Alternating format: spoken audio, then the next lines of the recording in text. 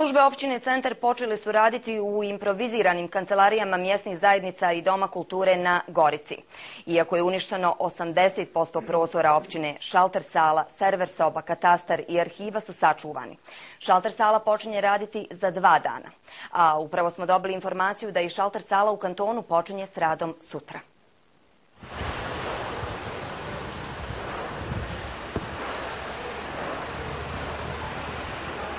Ovako izgleda općina centar nakon što je zapaljena 7. februara. Iako je bilo bojazni da su u vatrenoj stihi izgorjele arhiva i matične knjige, sve je sačuvano. I matične knjige, e, šalter, e, šalter sala, evo vidite tu, e, katastar, server soba, arhiv, sve ono što je važno je ostalo. I u određenom dijelu službi, ove koji su važnije, koji imaju puno dokumenta, i to je ostalo. Osim šalter sale, server sobe i arhive, u općini centar sve izgorilo. Ovdje na drugi sprat pustili su nas samo sa šljemovima, jer kako kažu, vrlo je opasno, kompletan treći sprat sručio se ovdje na drugi i sve prostorije su izgorile.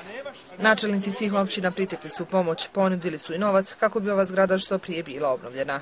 Sve što uh, su građani ovaj, e, ovdje predali od projekata što tiče urbanizma, oni su sačuvani. E, Biće tu nekih pojedinačnih zahtjeva koji su izgledaju prema određenim službama, boračkoj, socijali, ali se ti zahtjevi mogu obnoviti.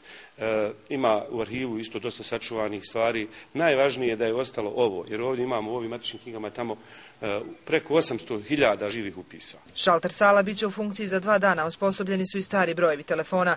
Od petka se mogu u općini prijaviti vjenčanja. Šteta još nije procijenjena, ali samo kompjuterska oprema košta više od milion maraka.